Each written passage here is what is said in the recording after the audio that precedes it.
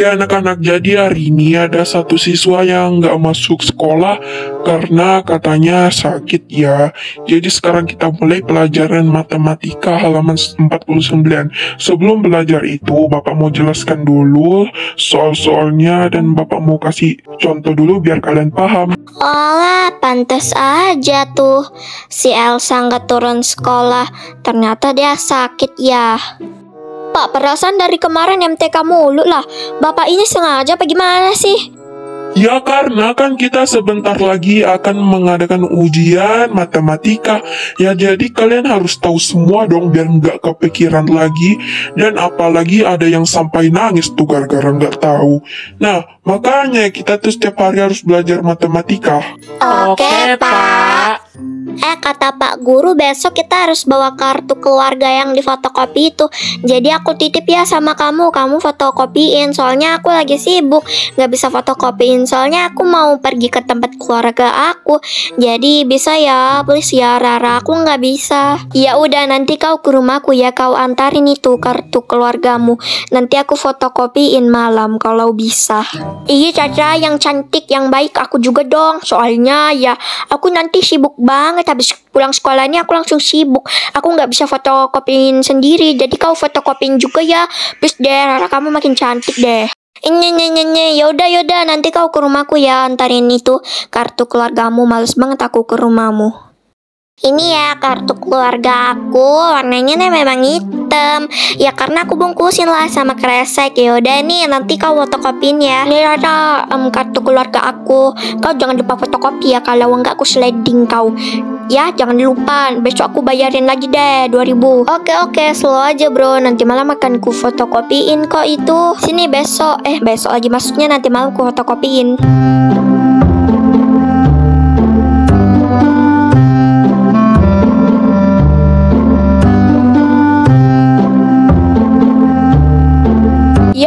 Hujan pula, entah gimana nanti aku mau fotokopi ini nih kartu keluarga mereka. Aku juga nih mau pergi fotokopi loh. Hmm besok aja lah. Eh, nanti aja lah aku fotokopiin pas hujan reda. Um, aku mau baca-baca dulu nih. Pertama aku baca foto keluarganya si Maki dulu. Ah, nama lengkap Maki, Maki si Romaya. Nama bapaknya Supriyanto, nama mamanya Siti. Oh ya ya oke oke. Lah si Maki anak tunggal ternyata baru tahu aku. Oke selanjutnya aku mau baca kartu keluarganya si Rumi. Hmm apa ya? Nama panjang Rumi Minoro. Jenis kelaminnya perempuan lah. Terus itu belum sekolah. Lah apa sih emang dibilang belum sekolah? Kayak mana nih? Tanggal lahir 10 September. What? Berarti besok si Rumi ulang tahun lah ini. Ini kan tanggal 9 loh. Eh Wah, besok si Rumi ulang tahun. Aku harus kasih tau si Maki nih. Em, aku mau buat rencana ah sama si Maki. Siapa tahu dia ketipu kan? Soalnya dia nggak pernah ditipu. Aku telepon lah si Maki. Halo, Ra, ada apa sih kok kau tengah-tengah malam gitu telepon? Eh, udah kau fotokopikan itu kartu keluargaku. Em, belum sih, tapi nanti aja. Oh iya, eh besok si Rumi ulang tahun loh. Jadi kau mau nggak buat rencana-rencana gitu loh, biar estetik gitu. Kau mau nggak? Ayolah, pasti kau mau. Antar aku kasih tahu deh rencananya, biar kau paham. Wah, boleh nih, boleh nih. Rencananya apa ya? Em, gini.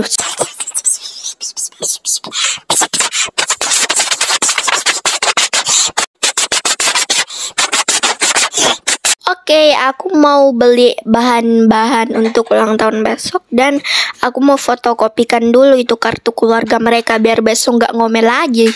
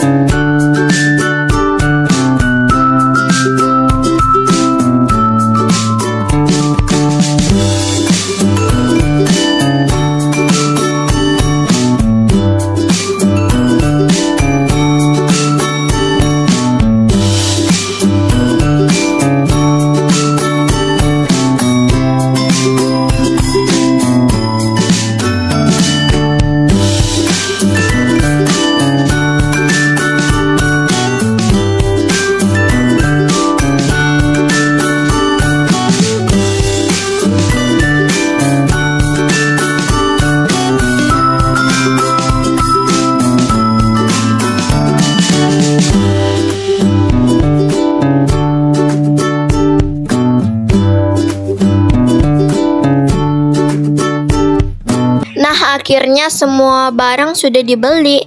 Tinggal besok tunggu kuenya aja datang jam 12. Pas banget ya pulang sekolah. Oke.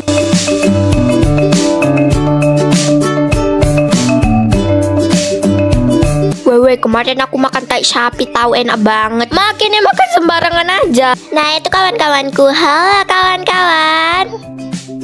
Kalian lagi ngegibah ya Wih gibah apa nih ikut laku Ayo gibah apa nih.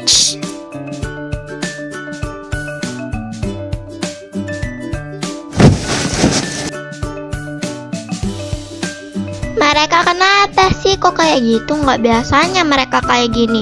Ada apa sih? Ah, udahlah, biarin. Nice, part satu sudah selesai. Oke oke, nanti kita lanjut babak dua ya. Tapi aku agak nggak tega. Tapi gimana lagi? Iya, ya, Pukul, bukan gitu loh pukul. Bagaimana kau nih?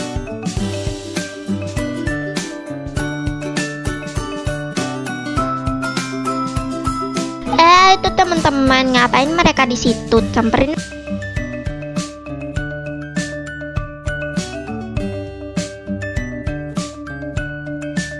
Hei, kalian mau ke mana tuh? Eh, mau ke mana? Maksudnya kalian main apaan tuh?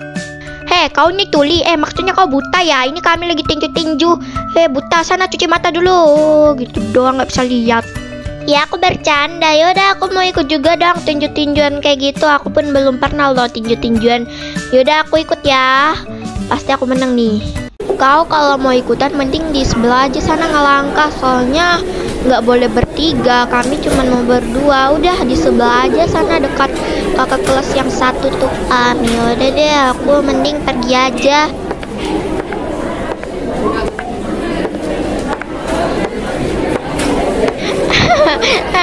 kali aku bah Eh, kasihan juga itu si anu si Rumi. Ada yang ketega deh aja gimana nih moga aja nggak denger ya. Ya udah Maki ayo kita masuk kelas. Bentar lagi mau masuk loh ini ntar kita telat pula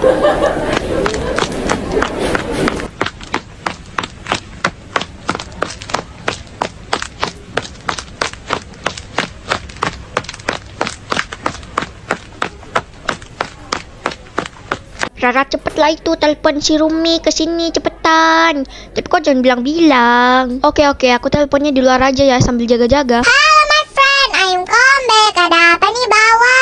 Wih ada kue besar loh. Itu untuk siapa? Untuk aku kah kuenya? Ih bacot kali kau dek. Eh, dek ini kue bukan untukmu lah. Pokoknya kau diam aja ya dek, jangan keluar-keluar. Awas kau. Wah itu kuenya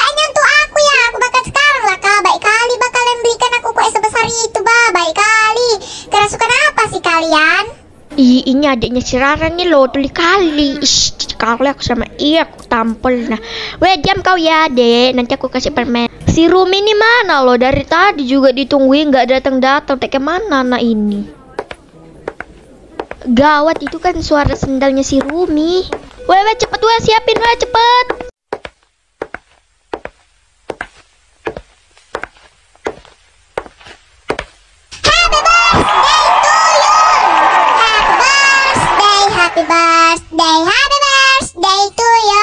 Akhirnya sekian lama berjam-jam aku tunggu akhirnya bisa kemakan juga lah ini kue. Hmm, enak kali, bah.